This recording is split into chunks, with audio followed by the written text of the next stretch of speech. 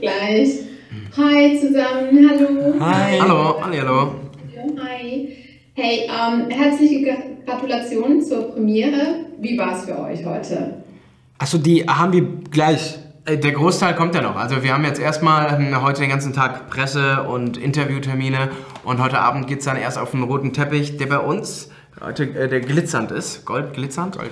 Und dann ähm, ja, wird es bestimmt sehr turbulent und dann freuen wir uns, den Film endlich den Leuten ähm, zeigen zu können. Und ihr habt den Film selber schon gesehen? Ja. Und? Magisch. also, ich glaube, um, den, äh, um den Film einfach in drei Worten zu beschreiben, also magisch, abenteuerlich und was würdest du? Na, natürlich sehr lustig auch.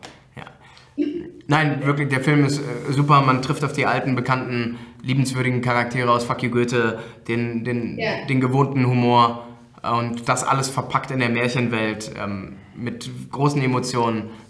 Ein, großes, ein großer Kinospaß, ja. Und es, es waren ja so viele ja, Märchen zusammen. In, also Aladdin, es war jetzt doch, warst du jetzt doch Aladdin oder doch nicht? Oder wusstest du nicht, dass du Aladdin warst? Es waren ja sehr viele von diesen Märchen zusammen. Was würdet ihr jetzt am Ende des Tages sagen? Warum wurde da so viel zusammengemixt? Also unser Ziel war ja ähm, mit dem Film, ähm, wir wollten mit den ganzen gängigen Klischees ähm, der Märchenwelt, immer der starke Prinz küsst die ähm, hübsche Prinzessin wach, ähm, so ein bisschen aufräumen. Und ähm, das schafft der Film eben mit einer großen Menge Humor. Wir stellen uns diesen Fragen de, mit zeitgeistigen Diskursen, sei es Selbstbestimmung oder Diversität. Und ähm, das eben nicht mit, dem, nicht mit dem Zeigefinger, sondern mit dem Stinkefinger. okay, okay. Und wie, wie kam das an? So habt ihr schon Feedback gekriegt von, von Leuten oder Freunden und so weiter? Es wurde also, also tatsächlich die, also wir, wir, haben heute Premiere, also heute Abend. Ähm, deshalb hat eigentlich noch die Öffentlichkeit den Film noch nicht gesehen. Ähm, aber wir sind alle wahnsinnig davon begeistert ähm, und glauben sehr fest daran und freuen uns, den jetzt ja, den Leuten zeigen zu können. Aber es hat sehr lustig angefühlt, also beim Drehen. Es wurde ganz viel gelacht. Ja. Ja, Im Hintergrund. Also, mir hat ja fast am besten das, ähm, das Making-of. Am Schluss kam ja ganz viel Making-of und so. Und da haben wir gesehen, wie immer wieder mal was runtergefallen ist. Und es, es war wirklich diese, diese es war echt lustig. Wie war so das Set? Also wo habt ihr gedreht? Äh, wir haben einmal in Penzing gedreht, im, im Studio und äh, in, in Prag. In, auch in den Studios. Wie heißen die nochmal? Barandov. Barandov. Wir waren, also in Prag waren wir in gefühlt so einer gebauten Stadt es war, es war riesig, so viele Leute am Set, aber es hat nochmal geholfen, so viel schneller in die Rolle äh, reinzukommen, weil, weil sich alles so echt und authentisch angefühlt hat. Und äh, im Penzing in München hat es auch, also es war auch eine ganz coole neue Erfahrung für uns oder für mich äh, mit der ganzen Technik und Greenscreen und so. Also es war toll. Wie muss man sich vorstellen, so ein Studio? Also was war da echt, was war da Greenscreen oder Bluescreen? Was konntet ihr als Schauspieler überhaupt noch machen oder was musstet ihr euch vorstellen? Also wir hatten, ähm, es war wirklich viel, ein tolles Szenenbild, es, wurde, es war viel gebaut, also die ganzen Inneneinrichtungen des, des Schlosses, ähm, das war ähm, da. Und ähm, dann aber diese ganzen Effekte, sei es der Fluch oder irgendwelche Zauber und natürlich der Drache Chantal, also Jella saß die ganze Zeit auf irgendwelchen, auf einem Kran drauf und der dann jetzt hinterher erst zum Drachen wurde.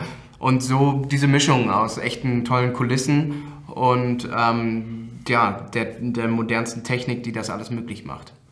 War das für euch Schauspieler, was war da anspruchsvoll oder was hat auch Spaß gemacht oder war es einfach auch ein bisschen langweilig? Na, also man muss sich dann schon teilweise ein bisschen koordinieren, wenn man sagt, da ist jetzt irgendwie ein, ein Fluch zum Beispiel, der Fluch, der da so rumschwirrt. Und da müssen wir uns schon sehr gut abstimmen, dass wir irgendwie genau richtig alle gucken. Weil, ja, nicht alle die gleiche Richtung äh, Weil da ist natürlich keiner und da ist ja nichts. Und ähm, also es ist dann auch schon, auch, wird dann irgendwann auch te sehr technisch, aber ähm, das wechselt dann wieder ab mit irgendwelchen tollen Spielszenen. Also es war wirklich alles, alles dabei bei dem Dreh. Und die ganze Choreo, wird das dann so vor Ort dann alles einstudiert oder kriegt ihr da vorher einen Plan? Wie, wie läuft das so ab? Ja, wie läuft das so ab? Eine sehr gute Frage. ja, wir, wir, also wir, wir, äh, wir, proben, wir proben natürlich viel ähm, vorab. Und, ähm, ja, wollte ich auch sagen, also sorry. so, so, dass alles klar ist. Und dann, ähm, wenn wir dann am Set sind, dann kann man auch noch mal ein bisschen was ausprobieren. Aber es wird viel geprobt, damit alles, also das ist auch wirklich vonnöten, gerade wenn man so technisch dreht, ähm, damit alle wissen, was passiert. Ja, wie lange habt ihr so geprobt? Ähm, wir haben vorab ein paar Wochen geprobt und dann probst du manchmal am Tag selber noch ein bisschen und bevor wir dann anfangen zu drehen.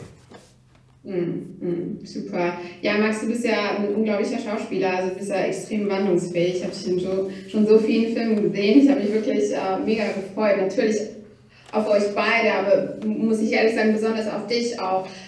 Was war das jetzt, dich in so einer Rolle zu sehen? War ich sehr ungewohnt, weil ich denke, du bist so ein unglaublich talentierter Schauspieler. Ist das für dich nicht so, ja? hast du das einfach just for fun gemacht oder? Ähm, naja, ich bin mit der, also ich habe ja die ganzen Fuck Goethe-Filme schon gemacht und als dann äh, äh, der Anruf kam von Bora Daktikin, dem Regisseur und ähm, Autor, habe ich natürlich sofort gesagt, ja, ich bin gerne dabei, besonders als er mir dann diese verrückte ähm, Story erzählt hat. Und ähm, ja, ich ähm, habe mich sehr gefreut, wieder dabei zu sein mit dem ganzen mir bekannten Cast und äh, dem Team ähm, weil wir sind wirklich eine Familie geworden über die Zeit, über die ganzen Fuck Goethe-Filme. Und ja, deshalb war das sehr schön, wieder Teil davon zu sein. Ja, das ist eher so eine familiäre Film, familiäre Angelegenheit, könnte man sagen.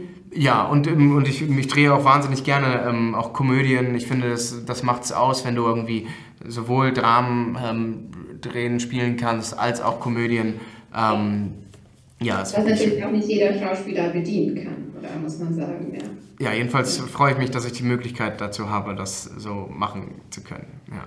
Ja, noch ganz kurz, wir haben sehr wahrscheinlich noch eine Minute oder 50 Sekunden. Was würdet ihr sagen, warum das der Film sehenswert ist?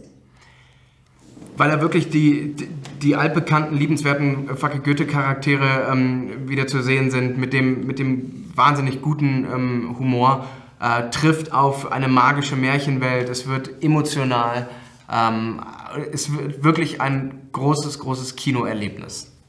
Hm. Und vielleicht noch von dir sehr gerne.